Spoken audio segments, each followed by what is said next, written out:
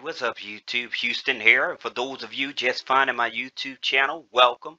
Please remember to hit that subscribe button and that bell. And for those of you that's been following me and supporting me, salute. And for my faithful patrons, double salute. Now, today's video, we're actually going to be talking about Upstart. Upstart is a bad credit, or I would say a subprime lender okay? And they really don't focus on the personal score they focus on other metrics or data points to help you get qualified for loans. So that being said today we're talking about how to get $25,000 in upstart personal loan with no credit check now, the reason you may be trying to raise 25,000, you may be trying to pay some bills or you may be trying to just buy uh buy into like a tax lien or trying to do some basic uh real estate uh fixer up or something like that or you may just maybe trying to invest in cryptocurrency the market's hot right now so a lot of people trying to get access to money to do that or you just may be trying to buy a car to to put on uh rideshare uh, platforms like Turo. but whatever the reason this is what we're doing in terms of how to help you get it get a personal loan through Upstart now Upstart personal loans, here's the situation. All right. If you don't have credit, you can get approved.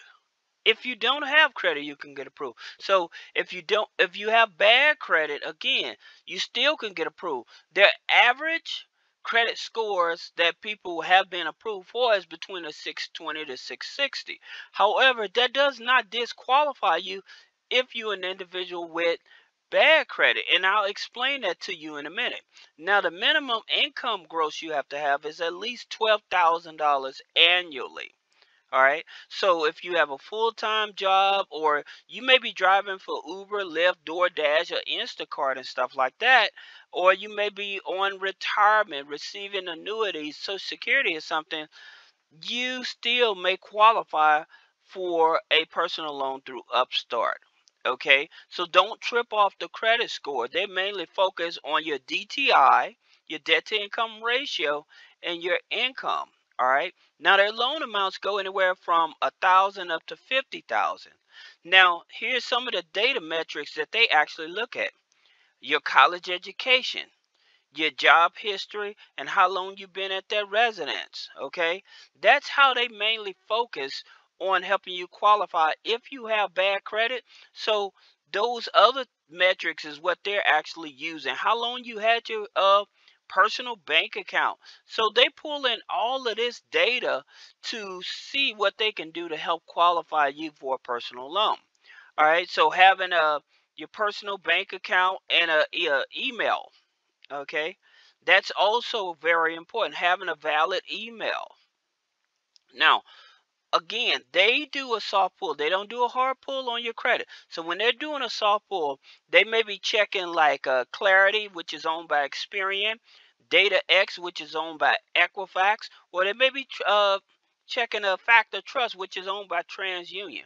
Now the good part about them, they're they're in all 50 states, okay, and so everything is uh in reference to proof of income long as they know you have a job and stuff sometimes they may check but most of the time uh they go off of what you put on the application. Now here's something that you can do to boost your credit score. If you have a low credit score and that's what you're worried about because there's other loans that I'm going to show you as well other than this upstart loan but if you're trying to boost your credit score to get like credit cards and stuff like that then here's a couple things that you can do that can boost your credit score from 25 to 100 points. So you have Grow Credit and you have Perch. So these are subscription-based type of companies.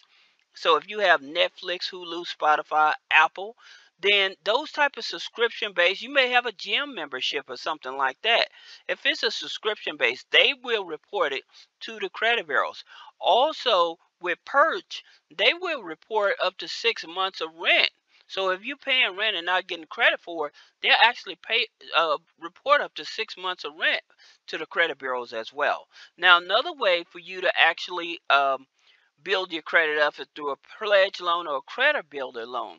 And again, I'm going to take you more in depth of some of these um, subprime lenders that can help you get a loan with challenging credit. Now you can add authorized users. Then also the extra debit credit card. They have the extra credit extra credit card and they also have one financial.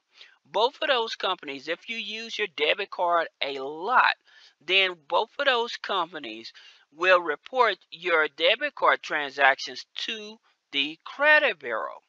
Okay, so that's one of the things that they actually will do to help you build up your credit. Then, of course, you have Boom Pay and Rental Kharma.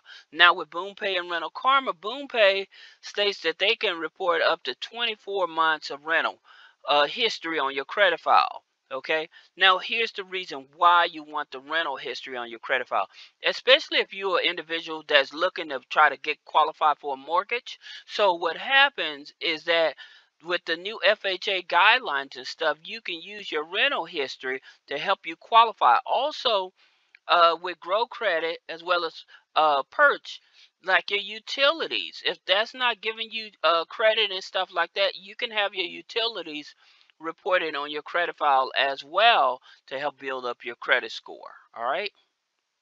Now, here's another company, and I like this company because they do also, just like Upstart, they have a high rate of approval as well, and it's Universal Credit. Now, their average credit score is a 560, where with Universal, with uh, excuse me, with Upstart, you actually have to have you you don't have to have any credit, right?